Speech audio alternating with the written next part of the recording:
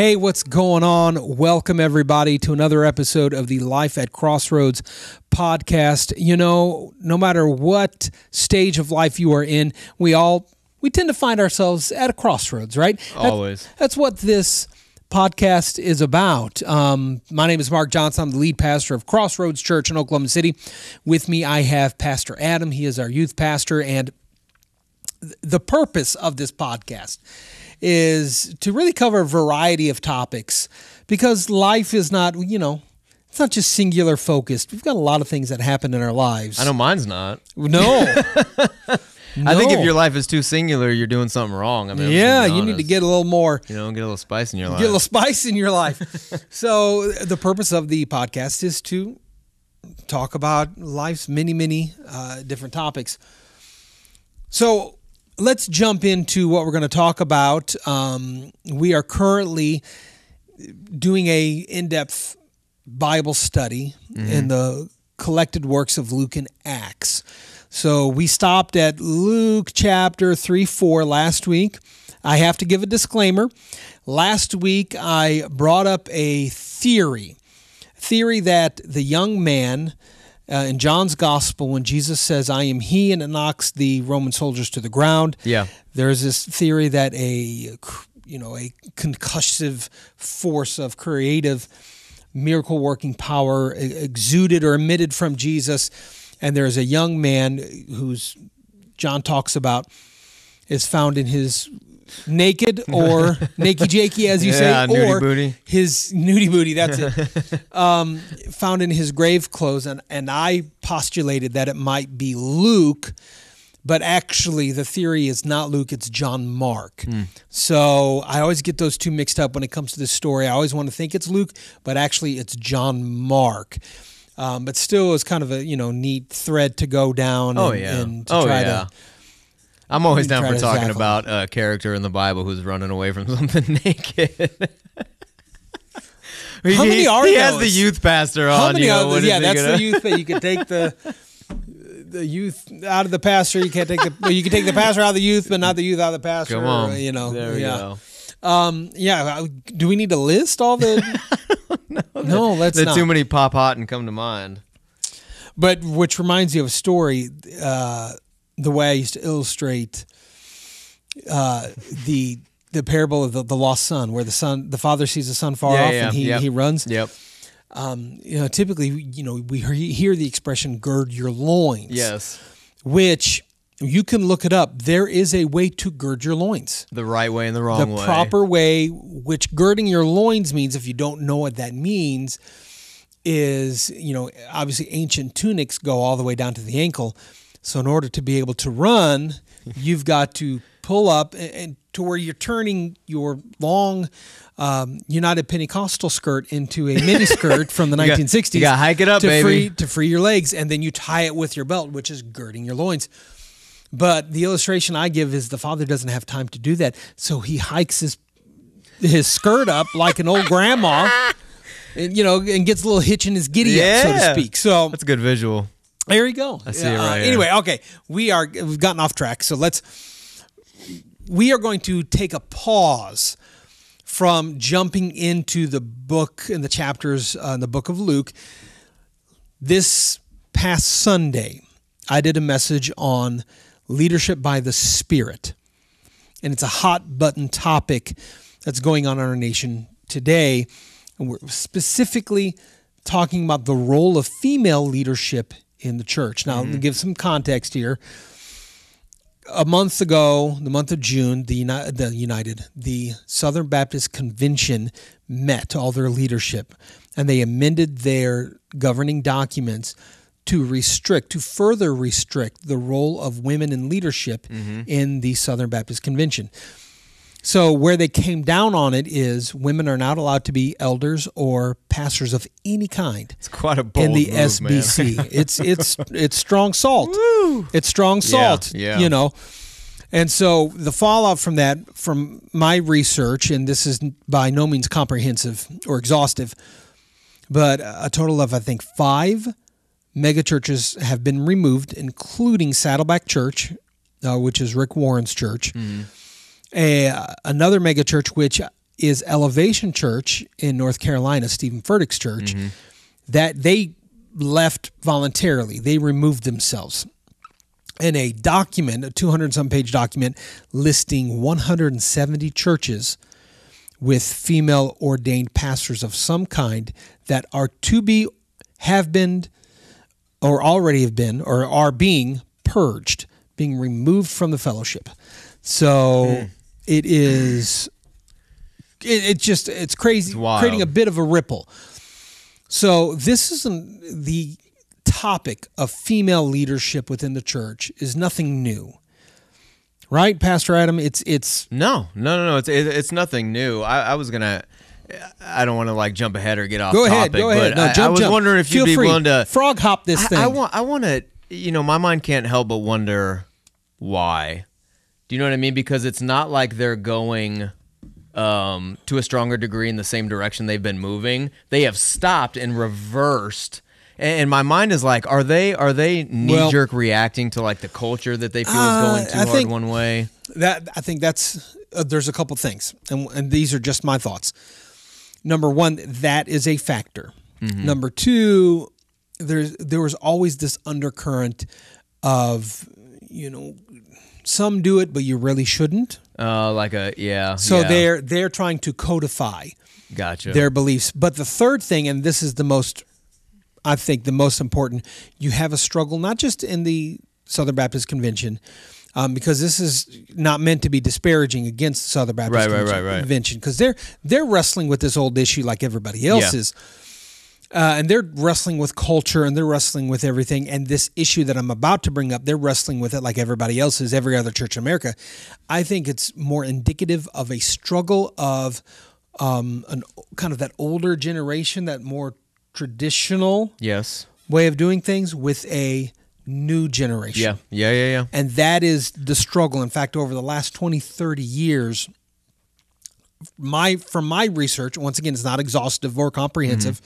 From what I'm seeing, non-denominational churches, the majority of them are Southern Baptist in roots. Now you say, mm. well, how do you know this? Number one, everybody should know this. There's no such thing as a non-denominational church. No such thing. Even if a church has no denominational ties, they have a denominational and a theological framework. If you want to know, if you attend a non denominational church and you want to know what denomination you are close, most closely linked with, go to your church's website, pull up the bio on your senior past, pastor, and find out where he got his education. Oh, that's good. Then you know, Some detective What- work. yeah. No, that's what- smart. That's that's super smart. your theological framework. And most of the non, a lot of the non-denominational churches that are out there have a lead pastor who comes from a Southern Baptist roots. And I've talked with a lot of pastors of a lot of non-denominational churches. A lot of them come from the SBC, and the struggle is not it's not about women in ministry or anything like that. It's just a struggle between traditionalism and kind of modernism. yeah. Um, and you see that in Assemblies of God as well. We are an Assembly of God church.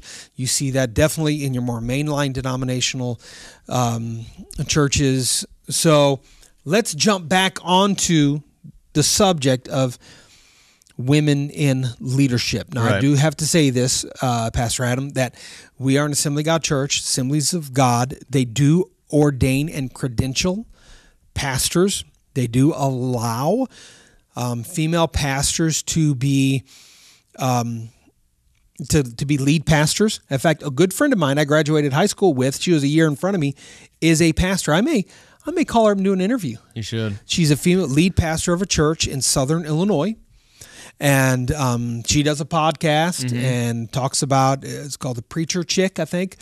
Um, shout out to Stacy Wampler, not Stacy. That's her maiden name. Oh, look at that means that they Stacy go Wilson, way back. way back. They're, they're OG. Sorry. Stacy Stacy Wilson. She's been Stacy Wilson for twenty something years.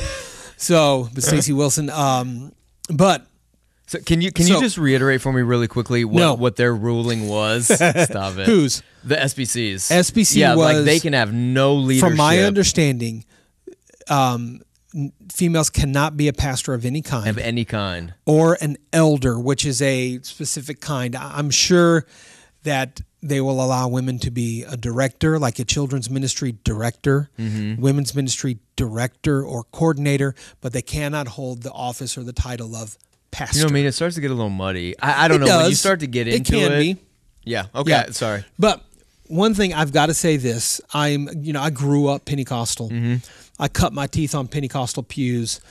Um, gifts of the Holy Spirit, speaking tongues, were as common to me as past the cereal. you Mm-hmm. Right. know? Right. Right. and I am very grateful for this for a couple of reasons. Number one, um, I get to grow up in a denomination in a fellowship that allows space for women to be leaders, Yeah.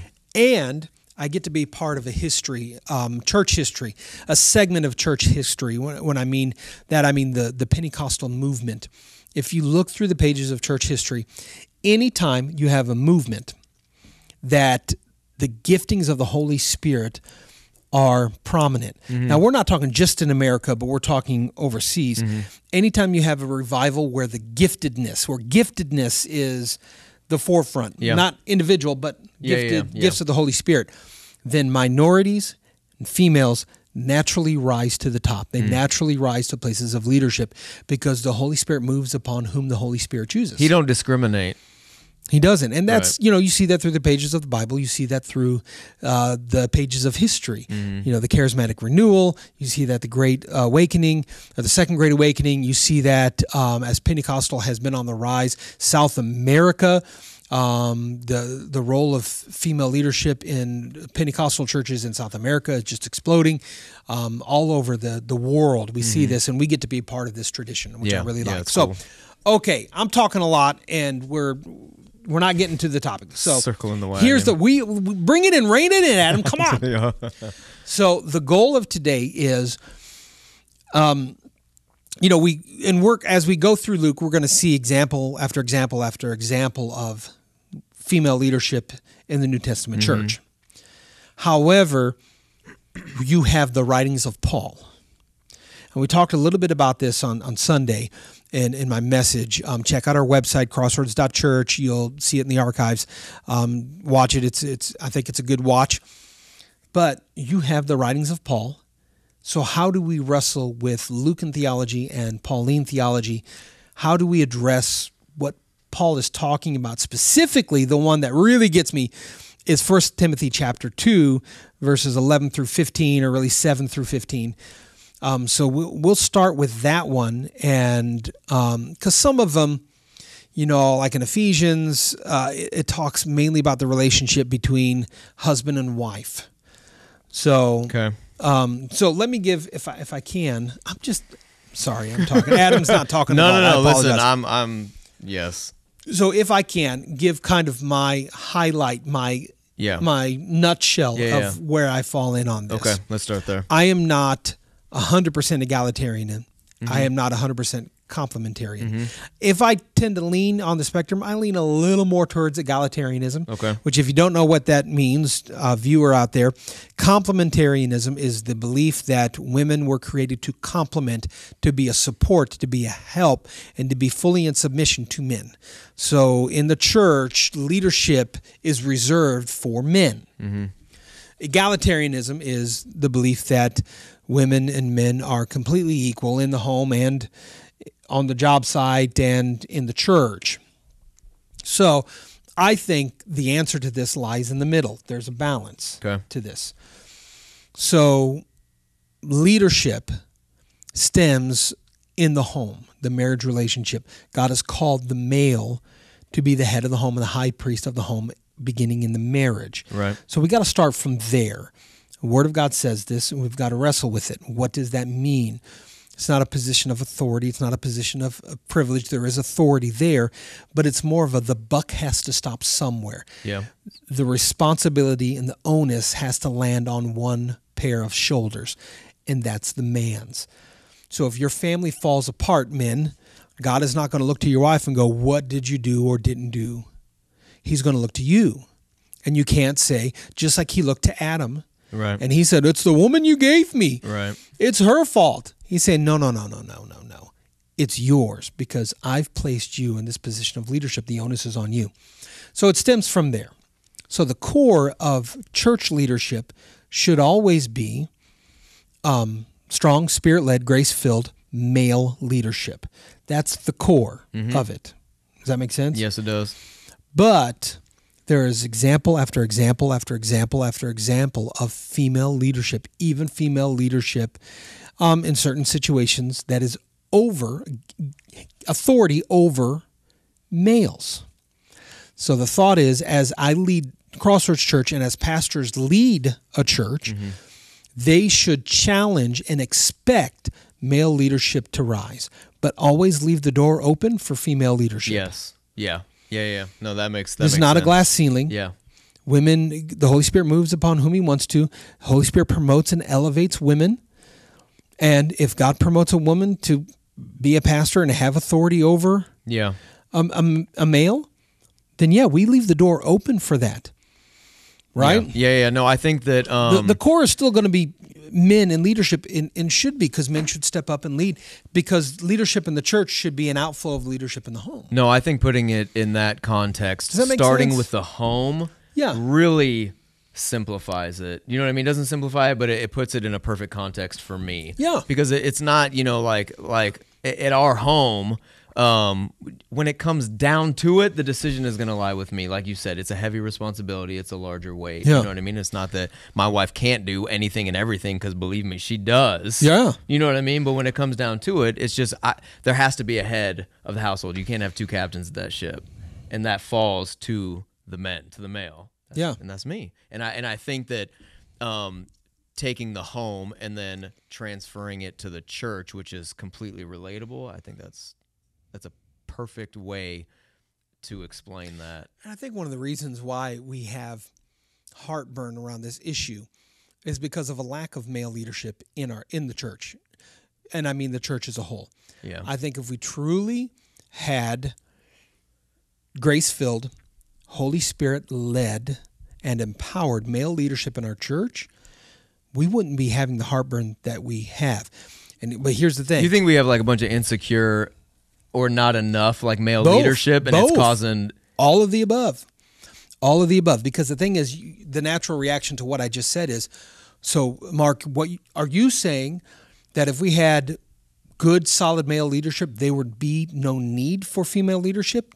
That's not what i'm yeah, saying. no, no, no, not at all. i'm saying good spirit filled spirit led empowered grace filled male leadership um, cultivates gives room for and is not scared by strong female leadership. Right, absolutely not. A, a core of strong male leadership creates a framework of safety for female leadership to flourish. Right, right. Does uh, that make sense? Oh yeah, yeah, yeah. You know, it, it should, we should be providing the base as, as husbands, as fathers. We should be providing the shoulders for our daughters and sisters to stand upon. Absolutely. A- As a father, Yeah. my daughter, and you know my daughter, she is a strong willed, Yeah. you know, she is off the scales on being a go getter. Yeah. She's a go getter. As a father, I pour into that. Yes, I lean that. into that. Yes. I feed that. Yeah. Yeah. Yeah. You know- you don't you don't pull the reins in on that No, because you're and- a secure father. And I don't teach my daughter to be submissive to her future husband in the sense of, you know, killing and crushing her spirit. What I have to do is talk to her about partnership. You're, you're going to fall in love with the man. yeah. and he's called to be the high priest of your home and you have dreams and vision that God want you to fill out so you guys have to find a way to partner together Can, can, can I to can I see a- this. let me ask you this? Do Yeah. You, do you think that this is like a broader, bigger picture? Just because you said two words right there that I think a lot of people will be like, I don't want no part of that. What'd I say? Submission to authority. yeah I think that this is a larger problem, not even in just the the female male context, but you know what I mean. Like people have a problem submitting Let's- to authority well, let's be honest yes that in general let's be honest we are Americans Independence has like been rugged bred into rugged us. individualism is baked in nobody tells us what to do unless it's us and I don't think that's a good thing. Well, it's a good thing. It is a good thing, you know and it I can be a bad thing, though. It's a good thing, which, in the sense that it helped us build this nation that we have. Right. It's a bad thing if it goes to extremes. There's balance. Everything is balanced. Yeah, yeah, Everything yeah, is yeah, balanced. yeah, yeah.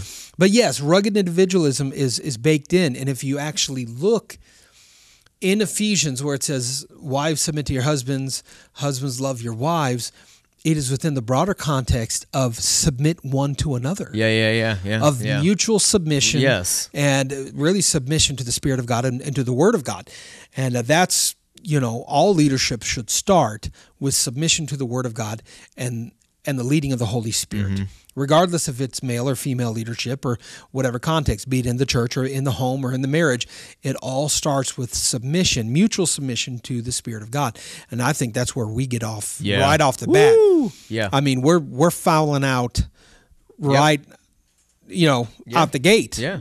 So, um, I have no clue what time it is. Our producer Brian's going to have to keep us on track because I did not do my timer this. So let's. Ten, we got ten minutes left. Uh, okay, so we may ha- just have time to deal with this one. Okay. Let me pull up the verse here. Oh, it's a spicy one. Um, we're going to start with verse 11. First Timothy chapter 2 verse 11. I'm reading ESV. Let a woman learn quietly with all submissiveness. I do not permit a woman to teach or to exercise authority over a man, rather she is to remain quiet. For Adam was formed first, then Eve, and Adam was not deceived, but the woman was deceived and became a transgressor. Yet she will be saved through childbearing if they continue in faith and love and holiness with self control. All right, Pastor Adam, how do we unpack this little nugget? You're gonna make me go first on this one, huh? Yes, I make- am. I've got some thoughts.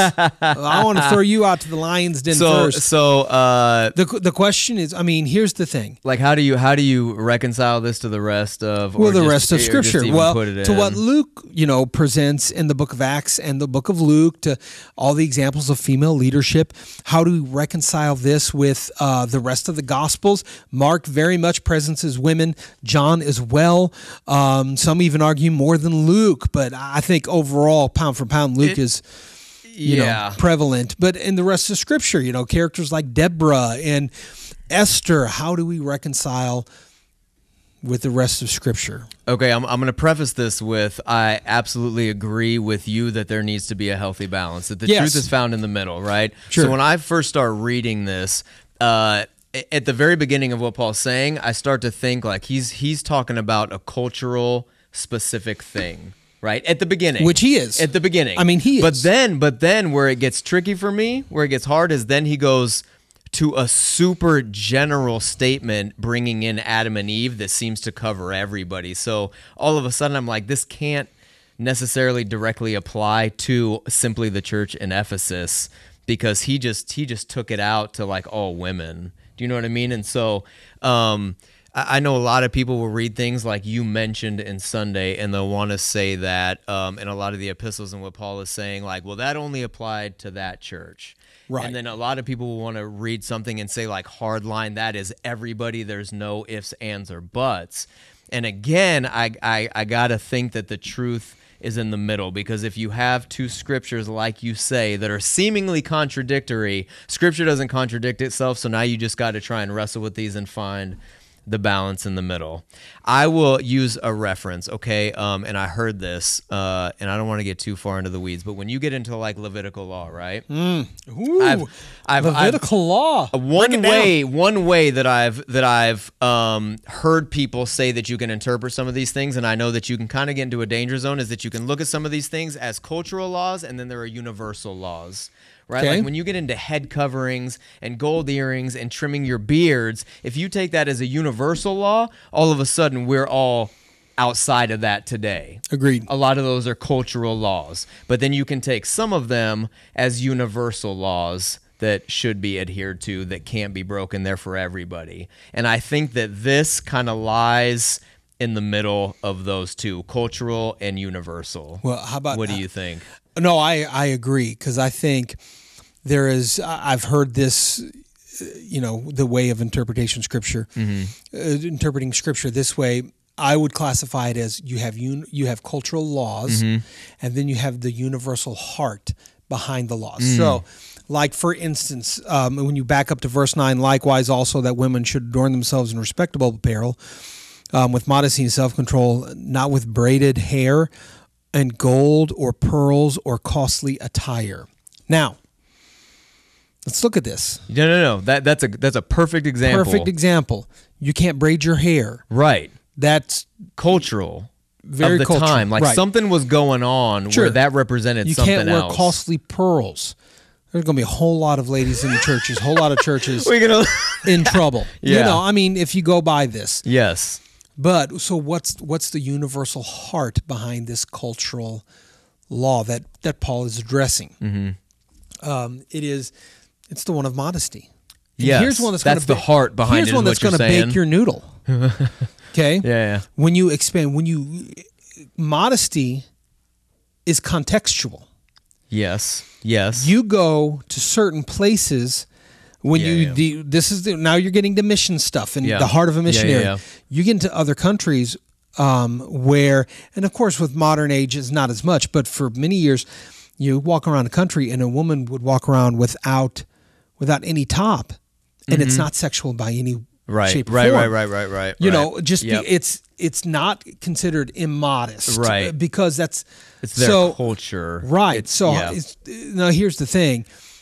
There's still biblical standards we need to be walking by. you know. to, yeah, I just yeah. use that as an extreme example Yeah, of modesty. It does have context. And so what we have to do is find the heart. And the heart is we want, you know, we want our men and women to operate with propriety, with modesty, and selflessness. Really, selflessness, because you know, and and that's something I think that is lost in our American culture because we're a very selfish culture. yeah. Nothing wrong with wearing pearls or earrings or expensive clothes. Right. Right. Right. It's the, heart word- behind it. The heart behind it, and what the Word of God is saying is, you should dress yourself to, and be selfless with it, not flaunt your wealth, not Right, flaunt right, what you right. have or your resources. And we're all about ostentatious living. We're all about flaunting our wealth in the United States. Yeah. That's something that we've lost. yeah, yeah. So, yeah, you have cultural things. One thing we need to factor is all scripture exists in context. Mm-hmm. Luke is, exists in context. All of Paul's writing exists in context. So Paul is writing to a church. He's writing to a young man. He's writing to Timothy, who's pastoring the church at Ephesus, who's never pastored before. He's never pastored a church before because churches didn't exist. You had synagogues, completely different. You have this new way of gathering and worship, a new way of worship being formed right then and there. And they have no clue what's going on. And so, what Paul is doing, and this I talked about this yesterday or on Sunday, um, he's he's looking at everything and the, the chaos of creation. Yeah. And Luke is spurning the chaos of creation. He's talking to Gentile believers saying, You got to get out there and you, you know, the Holy Spirit is for women, it's for minorities, it's for poor people, rich people, all people. And um, so Paul is going, We got to put some guardrails in this on this thing so we don't flame out. Yeah, He's yeah, trying yeah, to give best yeah. practices. I think you But- said on Sunday they're arguing from from just different sides of the same coin. Yeah, they're fighting the same battle, but just two different fronts. yeah, yeah, yeah. Um, so Paul is always correcting. He's always having to correct and help young pastors know how to correct and lead, and that's what we have here. So let's let's talk, if I can, talk specifically because we are running out of time here. okay. So I think what you have to do is is look at this like okay, um, let a woman learn quietly with all submissiveness. I do not permit a woman to teach. One thing we need to we need to factor and just put it in our in our brains, our, our drawer of Paul is the only New Testament writer who will distinguish at times his own personal opinion and the word of the Lord. He'll say, "This is This is what not I think. yeah.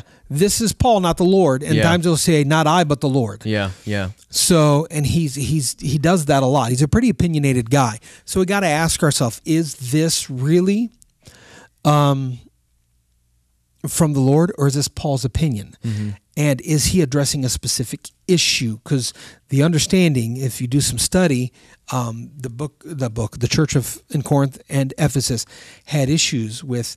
You have women who are not allowed to learn, who are not allowed to study the Word of God, who are not allowed to participate now they're fully enfranchised. Mm-hmm. And so they're talking to each other. They're asking questions. They're trying to catch up. Yeah. And they're doing it in a public setting. And so Paul's going, we got to rein this in because it, nothing's getting done because everybody's talking. Right, right, right. So you have that. Um, what about the uh, save through childbearing? What uh, you got some thoughts on that? no, you ain't gonna touch that. Ah, I come on, you can give a take a swing at it, Pastor Adam. No, it's all right. It's a tough one. Okay, Yeah. here's the thing. There is Paul really saying that the only women who are going to be saved and receive the gift of eternal life are ones who bear children. I think we all can say no. I, we don't think that's what he's talking Right. about, Right. right? Yes. What is he talking about here? Well, one of the key is is looking into the Greek word uh, saved. What that means, I'm trying to. I did this a few days ago, so um, in my study, but it it has you know salvation connotations, but it also has they will be sustained, they will be blessed, they will be nurtured. Yeah. Yeah. so yeah, I yeah. think what Paul is it's not an individual. well, what I think what he's talking about, we got to understand the context. In this context, and because the New Testament church was having this issue with their Greek widows. In this ancient context, Yes. a woman's only hope of surviving into old age is by having a, not just children, but having a son. No. Yeah. Yeah. Having a son. Um, and so if you don't have a son, you're you're toast. Yeah. You have no way of making a living. You're destitute for poverty. I mean, you're destined for poverty and most likely an early death because of the malnutrition and all the things Yeah. that come along Yeah. with extreme poverty. So he, he's saying that I think in the context of this new family called the church, a woman is saved. She's blessed. She's sustained. Our widows are sustained um, through spiritual childbearing. Does that make sense? No, absolutely it does. You know, No, no. I think that's what he's, and this is just my interpretation. It's through spiritual childbearing, spiritual sons, through this new empowerment of the Holy Spirit, a woman can now, you know, and it, and it ties back to Jesus on the cross with John, woman, behold your mother, mother, Yes. behold your son. No, which I- is, yes, I, I, I absolutely. Agree. And the thing is, Jesus has brothers. Yes, And I- has, and- she has physical heirs. Yeah. But he's giving the responsibility to a spiritual son, yeah, John. yeah, yeah, yeah. So you have this, you know, when you factor in Acts, you factor in what's said in the Gospels, uh, the cultural context of the, just the the death sentence Yeah. of being a widow without a yeah, son. Yeah. He is saying if you know if they continue in faith, stay plugged into the family, love and holiness, self control. You know, they will be sustained, blessed, nurtured through this new family of spiritual childbirth. Yeah, no, I I I think that's right. Because you can almost take any verse in Scripture and isolate it and get off the rails. Oh, I man. mean, a million ways to Sunday. Do you know what I mean? So you taking that and then like let's go out a little bit and a little bit further and Yeah. let's get to the heart of God and really Well, hit at you- this thing. you- I think that. and you touch on something, and I think we'll end on this. When we are when we are reading scripture, we have to think of each verse like uh, a pebble dropped in a pond. Hmm. The circle starts small, and then it expands out. Yeah, yeah. So we take a verse and we say, okay, I'm going to think about how to interpret this verse. Okay, now I'm going to put it within the context of this passage. Yeah, yeah, How do I interpret it in against that backdrop? Now I expand out to the chapter. Mm-hmm. Okay. Now I expand to the, the maybe the section of that book. How do I interpret this in the backdrop of that? Now the entire book. How does this fit into the whole writing of the book of First yes. Timothy? This is this is good. This is how Yeah. we should be reading our Bibles every day. And then we think, okay, how does this fit within the context of the New Testament? And then how does this fit within the context of you have the to. entire Word of Yeah, God, the you entire have to. So, um, yeah. Yeah. No, that's that's that's good. That's a perfect way to to end. So I think you know if you if you look at if you just isolate this passage, this can be a troubling passage. But if you look at it against the backdrop of all of other Paul's other other Pauline writings, Yeah, yeah.